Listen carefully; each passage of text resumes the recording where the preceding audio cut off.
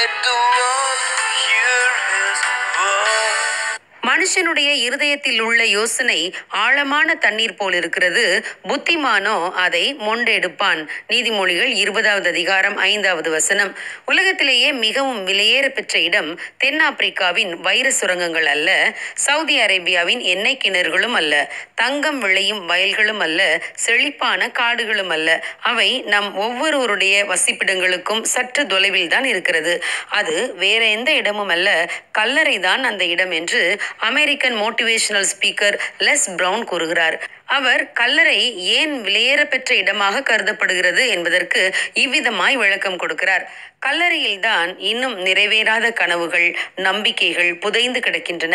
எழுதப்படாத புத்தகங்கள் பாடப்படாத பாடல்கள் பகிரப்படாத கண்டுபிடிப்புகள் கண்டுபிடிக்கப்படாத மருந்துகள் என பல விலையேற பெற்றவை புதைந்து கிடக்கின்றன. இதற்கெல்லாம் காரணம் என்னவென்றால் யாரோ ஒருவர் இவைகளை செய்யும்படி துணிந்து முதல் அடி எடுத்து வைக்காததால் தான் என்று லெஸ் பிரவுன் கூறுகிறார். இதே கருத்தை போதகர் மைல்ஸ் முன்று அவர்களும் கூறியுள்ளார். ஆம் பிரியமானவர்களே தேவன் நமக்குள்ளே விலையேற பெற்ற பல பொக்கிஷங்களை கொடுத்திருக்கிறார். ஆனால் நம்மில் பெரும்பாலானோர் அதை இன்னும் ஒரு முறை கூட வெளியே கொண்டு வந்ததும் இல்லை பயன்படுத்தியதும் இல்லை. ஆகவேதான் பயன்படுத்தப்படாத வெளியேற பெற்றவை மனிதர்களுக்குள்ளேயே இருந்து அவர்கள் மறிக்கும் போது அவைகளும் மண்ணுக்குள் மாண்டு போகிறது.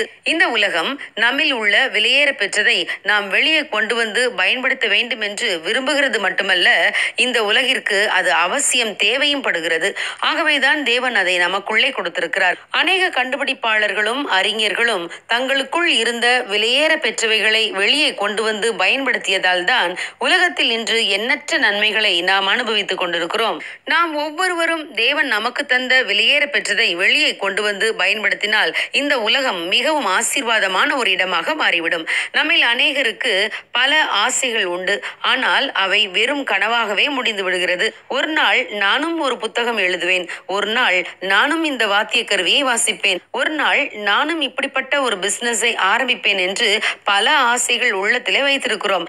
ஆனால் அந்த முதல் அடி எடுத்து வைக்க தயங்குவதால் அது நிறைவேறாத ஆசையாகவே கல்லறை வரை சென்று விடுகிறது என்று லெஸ் பிரவுன் கூறுகிறார். தேவன் நமக்கு தந்த பொக்கிஷங்களை நாம் பயன்படுத்த வேண்டும் என்றும் அதை அபிவிருத்தி செய்ய வேண்டும் என்றும் தேவன் எதிர்பார்க்கிறார்.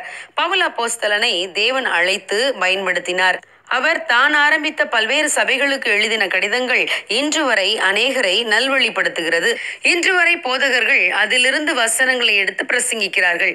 கர்த்தர் தங்களுக்கு தந்த கிருபைகளை பயன்படுத்திய காலை போன்றோர் ராஜ்யங்களை வென்றிருக்கிறார்கள். தேவனை துதித்து பாடக்கூடிய சங்கீதங்களை தாவீது எழுதியிருக்கிறார். இன்று வரை நாம் அவைகளை சபைகளில் பாடிக்கொண்டிருக்கிறோம். ஆகவே பிரியமானவர்களே தேவன் நமக்கு கொடுத்த பொக்கிஷங்களை கண்டுபிடிப்போம். வெளியே கொண்டு வந்து பயன்படுத்துவோம். இந்த உலகத்திற்கு அதை ஆசீர்வாதமாக்குவோம். God bless you have a good day